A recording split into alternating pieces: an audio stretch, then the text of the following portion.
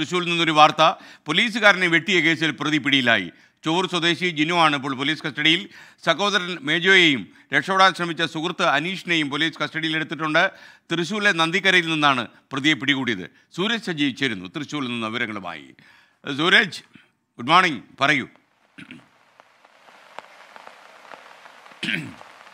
S K N good morning. ഇന്നലെയാണ് ഈ കേസിന് ആസ്പദമായ സംഭവം നടക്കുന്നത്. രാത്രി ഏഴേ മുക്കാലോട് കൂടി ഇത്തരത്തിൽ ഈ ജിനോയുടെ വീട്ടിൽ ചില തർക്കങ്ങൾ നടക്കുന്നു എന്നൊരു വിവരത്തെ തുടർന്നാണ് പോലീസ് സംഘം അവിടെ എത്തുന്നത്.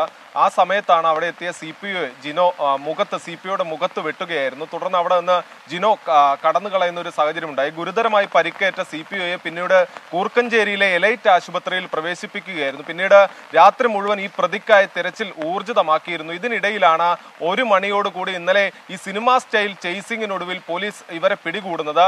ഈ ജിനോയുടെ കൂട്ട് ജിനോടൊപ്പം തന്നെ ജിനോയുടെ സഹോദരനും കൂടി ഉണ്ടായിരുന്നു. ഇവർ രണ്ടുപേരും ചേർന്ന ആദ്യഘട്ടത്തിൽ ഒരു സ്വിഫ്റ്റ് കാറിൽ അവിടെ നിന്ന് കടന്നു കളയുകയും പിന്നീട് അനീഷ് എന്ന സുഹൃത്തിന്റെ അടുത്തെത്തുകയും അവിടെ നിന്ന് ഇവർ അദ്ദേഹത്തിന്റെ മറ്റൊരു കാറിൽ സഞ്ചരിച്ചുകൊണ്ട് നന്ദിക്കരയിൽ എത്തുന്ന സമയത്താണ് പോലീസ് സംഘം റോഡിന് കുറുകെ പോലീസ് ജീപ്പുകൾ നിർത്തിയിട്ടുകൊണ്ട് ഇവരെ പിടിക്കുന്നത്. എന്തായാലും പ്രതികൾ നിലവിൽ പോലീസിന്റെ കസ്റ്റഡിയിലാണ്. ഇവരെ ചേർപ്പ് പോലീസ് സ്റ്റേഷനിൽ എത്തിച്ചിട്ടുണ്ട്.